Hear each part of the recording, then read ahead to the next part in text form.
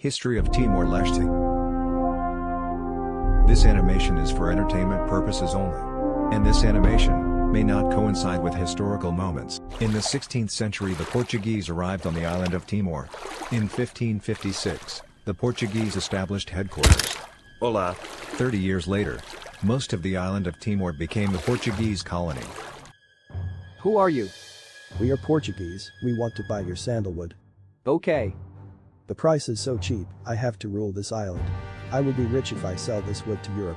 Ha ha ha ha. Now the land is ours. You must submit to us. Ha ha ha. No.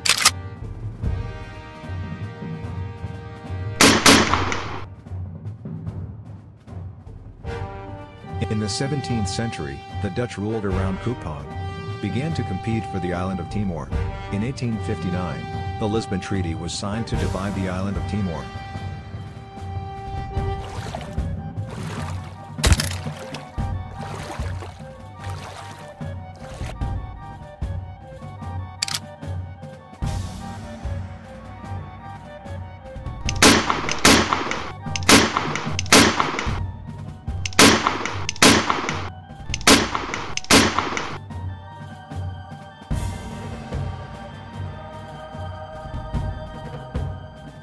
During World War II in 1941, the Portuguese refused to cooperate with the Allies. So the Allied troops occupied Portuguese Timor, to stem the Japanese troops. On February 19, 1942, Japan attacked the island of Timor.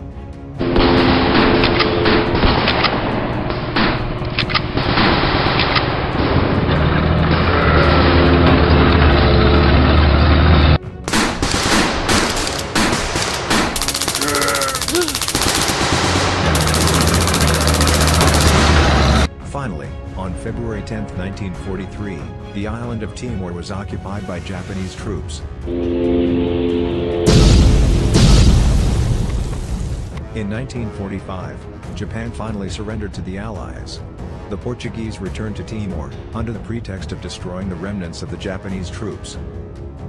In 1974, there was a revolution in Portugal. It created a power vacuum in Portuguese Timor. Then there was competition between parties in Portuguese Timor. On November 28, 1975, Fretilin declared independence.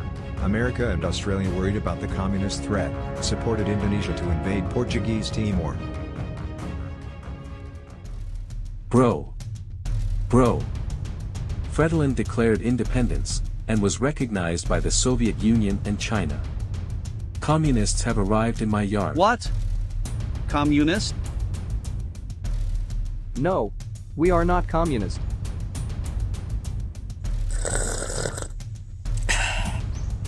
Bro.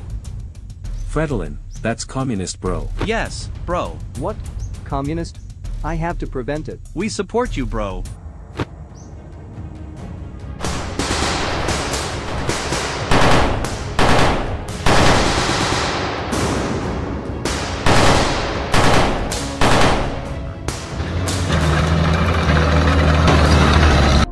After 24 years, under Indonesian rule.